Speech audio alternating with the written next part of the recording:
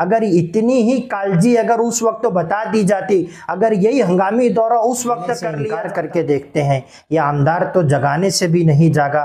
चलो इस आमदार को जगा करके देखते मैनेजर ने ऑफ़िस में बुला करके बिठा करके ऐसी कौन सी कॉफ़ी पिला दी थी कि उन्होंने बिल्कुल पूरी बात मैनेजर की सही मैनेजर की हिमायत में जुज हुए। आज हमारी बुरकापोश खातन गैरों के इलाकों के अंदर जा करके रात रात भर दिन दिन भर खड़ी रसूल करीम।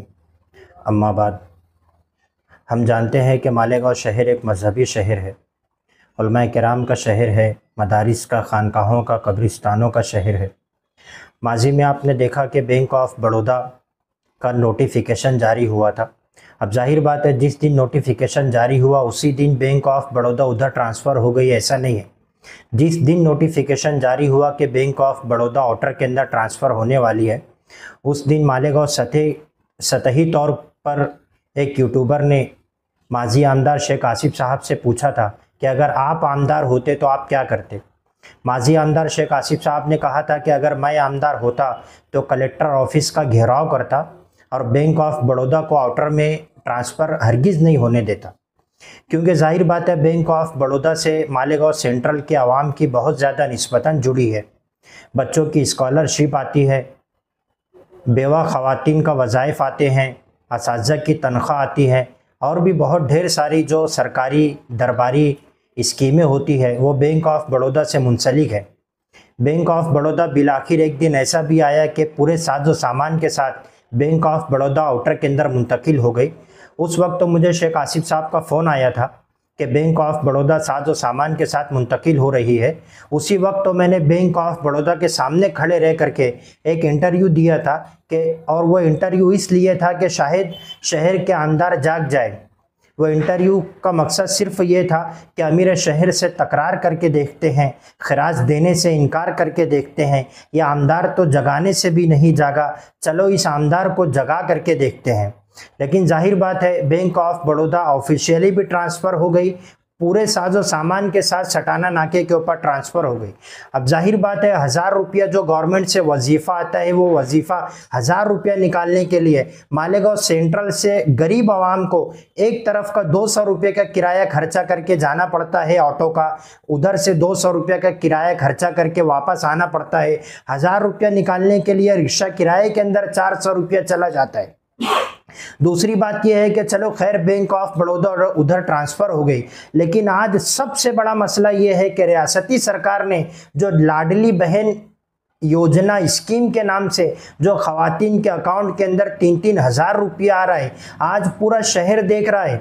आज हमारा शहर मजहबी शहर है। मैंने अपनी इब्तदाई गुफ्तगु इसी जुमले से शुरू की कि आज अगर कभी हमारे शहर की कोई बुरका पोश खातून आउटर के इलाके के अंदर रात की तारीकी में कहो या दिन के उजाले के अंदर कहो, अपने ज़ाती काम के लिए भी जाती है तो सोशल मीडिया के ऊपर एक हुल्लड़ मच जाता है।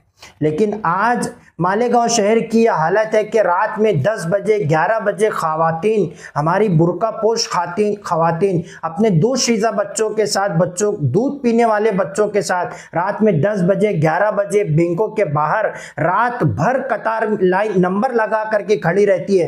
तब भी जा कर के उनका सुबह के अंदर के का हो या बैंक के, बैंक से उनको जो स्कीम के तौर पर पैसा निकालना है, उनका काम नहीं हो रहा है। अगर माजी में मैंने अभी देखा कल के इंटरव्यू के अंदर मालेगांव के आमदार साहब का आज एक हंगामी दौरा हुआ मालेगांव की बैंकों के अंदर।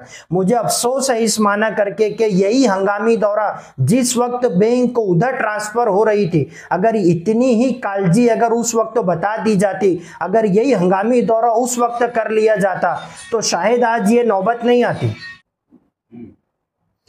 आज मालेगांव शहर के अंदर कितनी खातन ऐसी है जो छोटे छोटे दूध पीने वाले बच्चों को लेकर के बैंक के सामने खड़े होकर के कतार लगा रही है। उनका काम हो नहीं रहा है। मालेगांव शहर के आमदार ने आज बैंक, मालेगांव शहर की आउटर में मुख्तलिफ़ बैंकों का दौरा किया।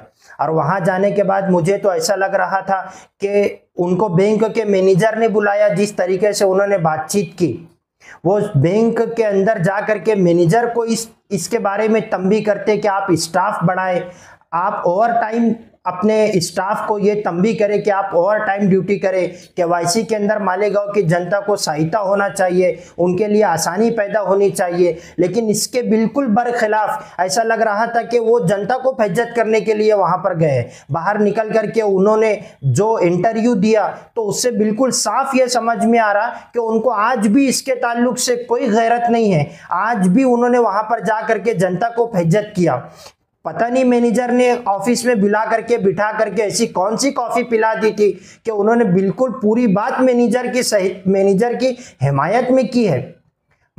मुसलमानों के लिए सबसे बड़ी चीज़ ये है कि गैरत ईमान का एक जुज्व है। आज हमारी बुरकापोश खातन गैरों के इलाकों के अंदर जा करके रात रात भर दिन दिन भर खड़ी रह रही।